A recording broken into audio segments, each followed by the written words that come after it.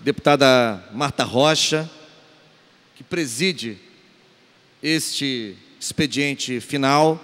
Eu também quero aqui secundar o deputado Luiz Paulo Correia da Rocha, afirmando que é um prazer e um privilégio usar a tribuna sob a presidência de Vossa Excelência. Deputados, deputadas, você que nos assiste pela TV Alerge, nos segue pelas redes sociais, imprensa, trabalhadoras e trabalhadores desta casa. Ontem, dia 10 de maio de 2017, quarta-feira, na cidade de Curitiba, capital do lindíssimo estado do Paraná, ocorreu, enfim, o interrogatório do presidente Luiz Inácio Lula, da Silva sob a presidência do senhor juiz é, Sérgio Moro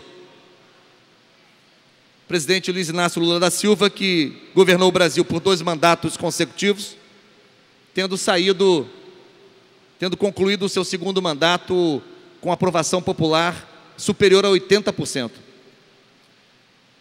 E ontem, na minha opinião, que eu quero aqui de maneira muito clara, muito direta, manifestar, ontem, na minha opinião, o presidente do interrogatório, o juiz Sérgio Moro, afinou recuou, encolheu. Eu não digo isso para desacreditá-lo profissionalmente, até porque no mérito técnico não é o meu papel como parlamentar avaliar né, é, é, a atuação do juiz do ponto de vista técnico. Nem tenho competência técnica para avaliar no mérito profissional a atuação de magistrados e magistradas. Mas não me surpreende que ele tenha encolhido, afinado, recuado, porque na verdade o interrogatório se deu no âmbito de um processo mal instruído, uma acusação mal formulada, onde as provas nunca aparecem, onde a acusação se baseia em reportagens de grandes veículos de comunicação ou em denúncias feitas por pessoas já condenadas que apresentam a sua palavra, né, em processo de delação premiada, buscando diminuir, reduzir, aplacar as penas para as quais já foram condenadas. Portanto, não é de surpreender que o interrogatório feito nos marcos de um processo com essas características, leve o juiz a afinar, a encolher, a recuar.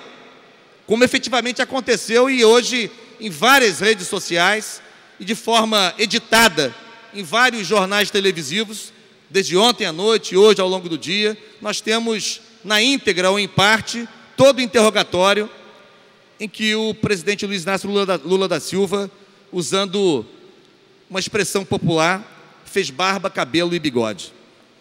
Mas eu quero aqui, sobretudo, me, me manifestar não sobre o interrogatório em si mesmo, porque quem assistir ao, aos vídeos, aos diferentes vídeos, tirará as suas próprias conclusões. Quero dizer, sobretudo, que não me surpreende com o recuo do juiz face à fragilidade da acusação.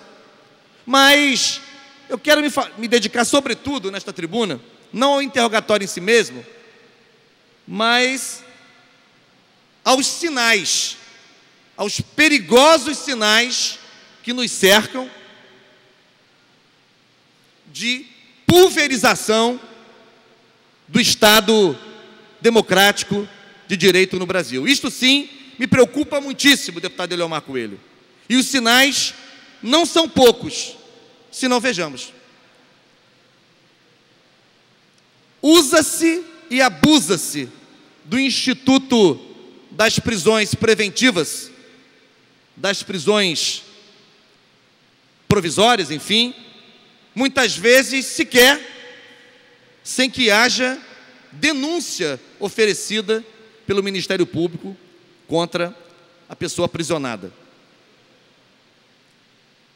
Criminaliza-se de maneira acentuada, grotesca, violenta os movimentos sociais, criminalizam-se os movimentos sociais, como aconteceu recentemente aqui no Rio de Janeiro, no dia 28 de abril, quando as forças de segurança, de maneira despropositada, covarde, violenta, desfecharam um ataque duríssimo contra uma manifestação legítima e democrática. No Brasil todo se repetiu, inclusive em Goiás, um estudante chegou a sofrer traumatismo craniano devido a uma pancada que recebeu em um cacetete de um policial. Conduções coercitivas graçam em que pessoas são levadas a depor mediante força, coercitivamente, portanto, sem que sequer tenham sido intimadas e muito menos tenham, tenham recusado a comparecer após receber uma intimação. O livre direito de manifestação seriamente constrangido, como agora mesmo em Curitiba, né? quando uma juíza de uma vara local tentou impedir que os manifestantes se organizassem né, é, é, é, num protesto, num comício, enfim, numa atividade, alguns favoráveis, outros contrários ao que está acontecendo nesse momento naquela vara federal. E olha que milhares de pessoas em Curitiba e não houve, salvo engano, nenhuma ocorrência. As manifestações foram absolutamente legítimas e pacíficas. Livre direito de expressão também seriamente constrangido. Cito aqui o Ministério Público Federal que chamou para prestar esclarecimentos o sindicato do Colégio Pedro II, o Sindiscope, porque tinha colocado uma faixa com a assinatura do sindicato manifestando restrições ao governo ilegítimo, impopular e usurpador de Michel Temer. Os, os dirigentes do Sindiscope tiveram que prestar depoimento, esclarecimentos, perdão, junto ao Ministério Público Federal, porque afixaram uma faixa manifestando a sua posição política. Professores estão sendo também chamados a prestar depoimento, a prestar esclarecimentos. Professores do Pedro II, uma professora do estado de Pernambuco, convidada a prestar depoimentos formalmente, sob a acusação de, estar, de estarem fazendo interpretações históricas em sua sala de aula. Professores de história, acusados de estarem fazendo interpretações históricas em sala de aula. Presidenta da República grampeada com anuência de juiz de primeira instância. Vazamentos seletivos de grampos ilegais com anuência de juiz de primeira instância. Polícia Federal fazendo grampos sem autorização judicial. Então eu estou aqui enumerando vários casos, vários fatos, que, a meu ver, se transformam em perigosos sinais, em graves sinais. Talvez muitos não estejam se dando conta disso. Talvez muitos achem que nós estamos vivendo uma mera, uma mera disputa político-partidária. Lê do engano, não está entendendo nada em relação ao que está acontecendo no Brasil quem acha que o que estamos vivendo é uma mera polarização entre partidos políticos em torno da disputa pelo poder.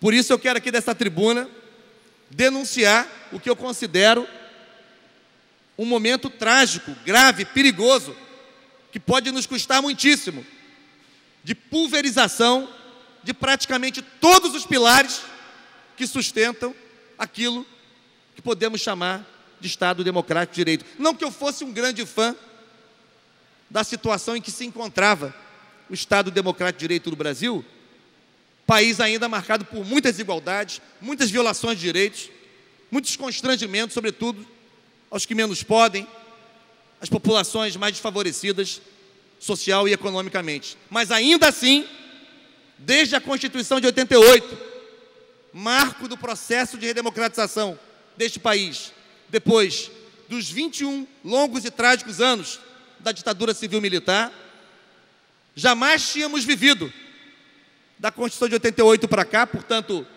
nos últimos 25 anos, um pouco mais, um momento tão grave, tão perigoso, com tantos sinais que colocam em risco, ainda frágil, ainda cambaleante, ainda claudicante, democracia brasileira. Não acho que devamos tolerar a corrupção em nenhuma instância, em nenhum aspecto, em nenhuma dimensão. Aos corruptos e aos corruptores, o mais absoluto rigor da lei. E que ninguém se considere onde quer que esteja, quem quer que seja, qualquer que seja o seu grau de instrução, qualquer que seja a sua posição social, qualquer que seja o cargo que exerça na função pública, que ninguém se considere acima do bem e do mal, ou imune, ou isento das mãos da justiça, mas da justiça com J maiúsculo. Porque enquanto de maneira espetacularizada se apresenta com uma grande obra nacional, o combate à corrupção.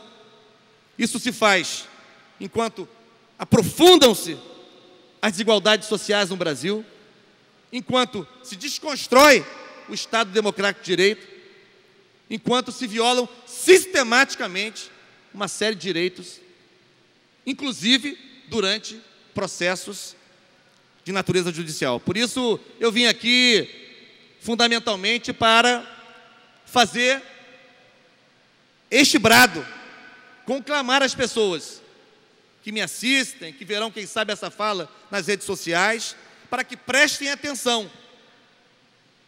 Não nesta questão específica, que é gravíssima por si só, e que eu já mencionei de início, desta sanha persecutória que se abateu sobre o presidente Lula nos últimos dois anos. Nunca ninguém que eu saiba um passado recente, pelo menos, na história desse país, foi tão massacrado, tão atacado, tão visado como Lula. Mas para além da questão do Lula, para além do seu interrogatório, para além, para além do seu processo, que eu considero burlesco, farsesco, eu quero aqui destacar, sobretudo, esses sinais que eu aqui decompus em vários fatos, em vários episódios que aconteceram recentemente no Brasil. Nada deve nos afastar da luta pelo aprimoramento da democracia, do respeito à Constituição, do respeito à diferença, da tolerância para com aquilo que não é espelho. Porque se a gente se afastar disso, a gente vai se aproximar de um cenário de aventura, de barbárie, do qual não se sabe como vamos sair.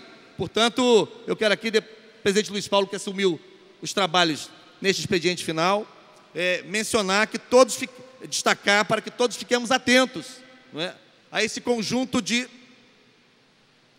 pistas, sinais, indicações que revelam como se decompõe de forma acelerada, perigosa, trágica,